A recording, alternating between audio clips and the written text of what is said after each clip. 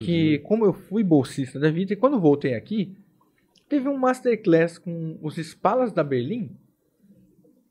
Eram os espalas de, de violino e os chefes de naipe de viola. De...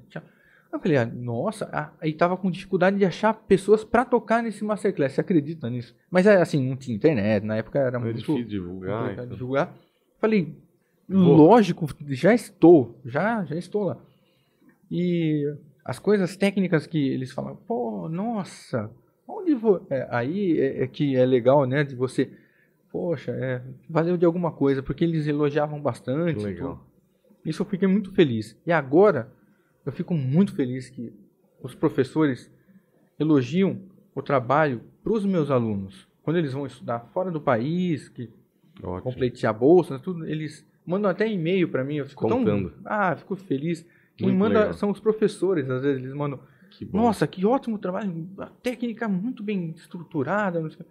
Eu fico muito realizado, porque foi uma coisa que é, é na nossa época, eu não sei se você teve dificuldade para conseguir as informações também, né? Sim, era. é. Era muito difícil de Eu, conseguir. fa- eu falo pro pessoal, eu gostava sempre de escutar.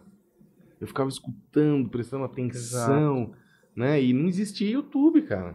É. Hoje você digita o nome do, do concerto, Como que pode 30. não existir o YouTube? Né? Como que a gente vivia? não, você tinha que comprar um CD, né? Na minha época. Era CD. E aí o CD você tinha que ir na FENAC pra comprar.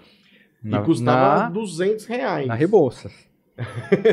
É, aqui a gente ia em Campinas, né, no shopping. Ah, tá. Lá em São Paulo era só na Rebouças. achava, você Pegava um ônibus e ia E quando até- você comprava, às vezes ele tinha só o primeiro movimento.